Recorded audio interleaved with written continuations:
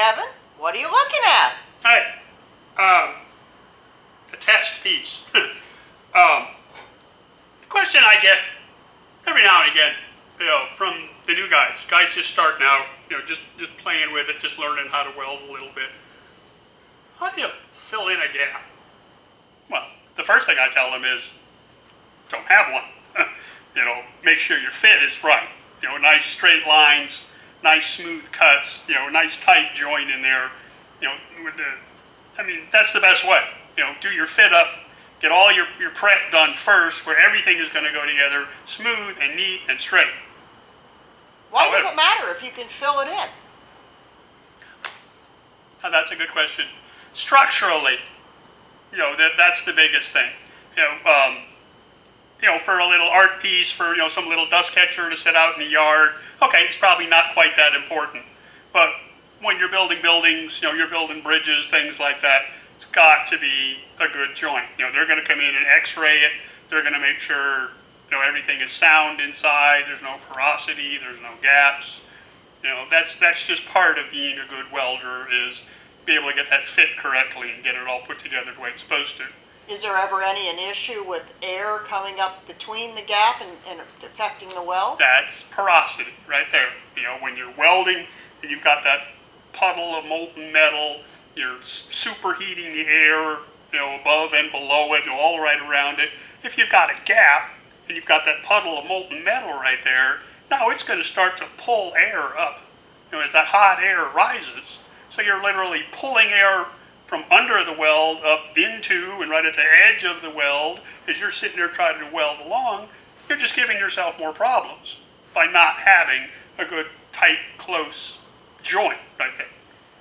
But that being said, yeah, come here, let me show you. so what I've got here is just some quarter inch plate, came out of the scrap bucket out back. What I'm gonna do is just set it up with a, a nice V gap in it. So we start out, you know, fairly close on one end, getting bigger towards the other end. And I'll show you a couple little tricks on how to fill things in. You know, you're, you're just trying to fill in a boo-boo. You know, you're not making something structural, like I said earlier. So I just got this nice big gap on one end. So I thought, well, let's set it about, ooh, half a finger here. That's a technical measurement, right? That, that's a technical, yeah, it's a calibrated half a finger, sure. So I'm going to be using the, the uh, Longevity uh, Pro MTS 200 over there. So, you know, I, I just, I love the MIG welder in this machine. I, I think it's just a fabulous, fabulous little MIG welder. It, it'll be fun to play with that and see how it does with this. So let me just cut a couple quick little tacks on it. Watch your eyes.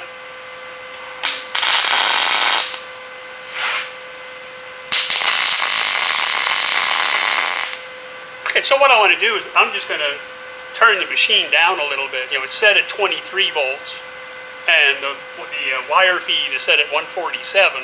But remember, on this machine, that does not mean 147 inches a minute. I'm not exactly sure how they figure out their wire speed, but that's about that's about two thirds of the way up on what this machine is capable of. Um, but I want to turn that voltage down from 23. I'm going to turn it down to about 21 and a half. And I'm going to go ahead and run a little bead right there. Before you get started, Kev, can't you just run it one end to the other? Well, yeah, you. Yeah. I wouldn't. Okay, because of the gap. Um, what I've found, and yes, I've filled my share of gaps. Uh, what I've found is now, if you start where I ended this last bead and just try to run it all the way to the end, you're going to get one piece of metal or the other is going to try to move away a little bit. So the gap is actually going to get wider as you're trying to catch up to the end of that gap over there. It's always better to tack it on one end, tack it on the other, you know, and then I like to hopscotch back and forth.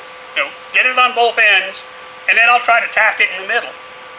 And then I'll get, you know, a little bead, one inch, you know, one inch, say, in between these two tacks and those two tacks. And then I'll push it out to, let's say, two inches in between those, know, and just try to fill it in that way. Uh, you know, and just keep working my way out, working my way out, you know, filling in, hopscotching back and forth. That helps keep the heat spread out more evenly. Uh, I find it it keeps the, the warpage down a little bit on the thinner metals.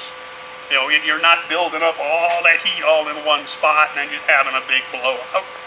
Great question. Let me just get another little run right there. And I'm going to start on this end and go back the other way with it. So let me start on the end here.